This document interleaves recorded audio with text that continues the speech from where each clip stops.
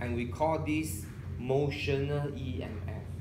Remember when you have a conductor that moves through a region of magnetic field, there will be voltage drop across the two terminals. and there's EMF. In fact, if you connect a wire, current will flow. But if you don't have a wire, just a conductor by itself, the potential drop is still there. Okay, and this is called motional EMF. And can you remember the expression for motional EMF is B L V. Do you remember that? The voltage induced across the terminal of a conductor is BLV, where B is the magnetic field, where it's moving through. L is the length of the conductor and V is the speed. okay? So in this case, we are going to use this equation to help us solve what is the EMF induced. Okay, so let's look at the whole picture again. Where is the magnetic field coming from? In fact, the magnetic field is generated by this very long wire. This very long wire that carries the current generates the magnetic field. Remember the right hand rule? So there will be B going in circular loop throughout the whole region. Okay. Now, on this plane where the conductor exists, B will be pointing in. Remember, right hand rule. On this side, it will be pointing up. But this is not our concern. Our concern is here because that's where the conductor is. That's the magnetic field experienced by this moving conductor. Okay?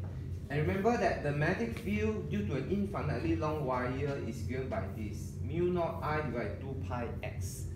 You can call it 2 pi r or 2 pi x. In that x or r refers to the perpendicular distance from the wire. Okay, so at a certain x, this is the b. At a different x, the b changes. So what we know in fact is that b is changing with the perpendicular distance. So when we are very near the wire, b is very strong. As we move more and more to the right, what happens? b drops, isn't it? Okay? Now, so this one tells you something. The B that this conductor is experiencing is not a constant B. It varies, isn't it? At one end and at the other end, the X value will be different. So the B will be changing. In fact, B changes continuously throughout the length of the conductor. Now, if because B is changing, we cannot straight away apply BLV. Because this one assumes there's a constant B, isn't it? But by now you should be able to extend your calculus knowledge to see how we handle such a problem, right? And the procedure is always the same. Divide your object into many infinitesimal elements. So we shall divide the conductor into many, many small segments. and let's consider a typical segment. Let's say this one shaded in purple. Let's say that its distance from the wire is x and the width of this element is dx. okay? Now, this element is a very small element.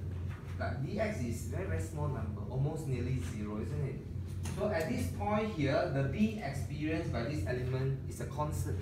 It's just mu naught I divided 2 pi x, whatever the x value, isn't it? So therefore, I can apply BLV to this small element.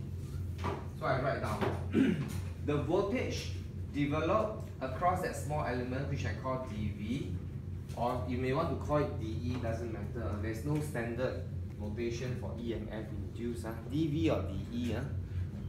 Up to you. Okay. So the voltage induced across the small element, I apply the same expression is BLV. B will be the magnetic field at the distance x, which is this one.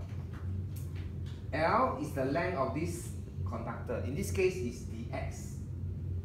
And V is the speed. Of course, the speed will be the same for all elements, V. So therefore, I obtain the voltage induced on the small element. And to obtain the voltage induced across the whole conductor, what we need to do is that we integrate the dV. Because this is just like a small battery. There's another element, a small battery. And when you connect them up in series, alright, in fact, you just sum up the total voltage. That will give you the overall voltage. So, the total EMF induced is an integral of dV. And this integration will be performed from one end to the other end of the conductor.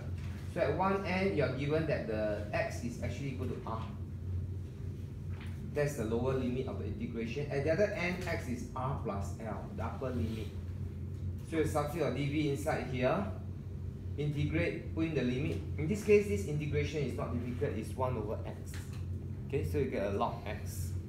Then you substitute the limits, therefore you get the answer. So this is the EMF induced across the conductor. is it okay? Any question?